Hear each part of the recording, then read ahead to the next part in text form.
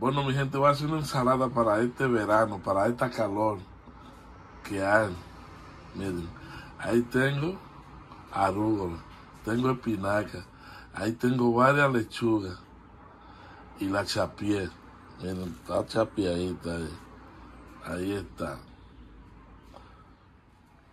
Bueno, mi gente, esta ensalada de verano la voy a acompañar con pechuga de pollo. Miren, es una pechuga que hice.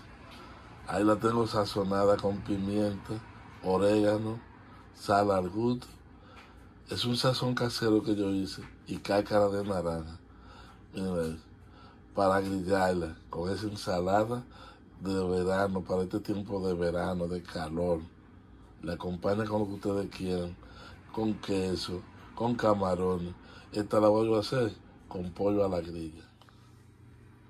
Bueno, mi gente, ahí tengo esa grilla, miren. Se está calentando, como digamos nosotros dominicanos.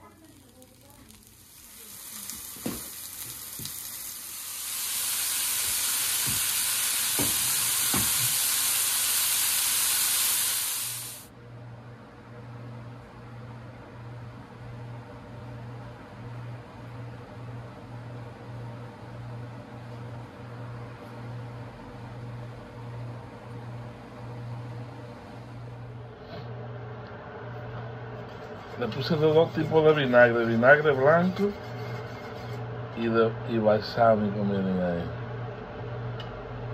Con aceite de oliva, sal al gusto, orégano y pimienta. Con pollo a la grilla. Síganme en mi canal, mi gente, y suscríbanse, mi gente. Hagan comentarios. Ahí está, miren con vinagre, baldón blanco y balsámico. Ahí miren. Y aceite de oliva. Ese toquecito. Mi gente, vean. Y tengo anís criollo. Mi abuela le encantaba para hacer chocolate. Ella lo cosechaba, lo sembraba en su cunuco, en su tierra, en mi país Santo Domingo y en mi pueblo Puerto Plata y en mi campo Luperón el estrecho abajo.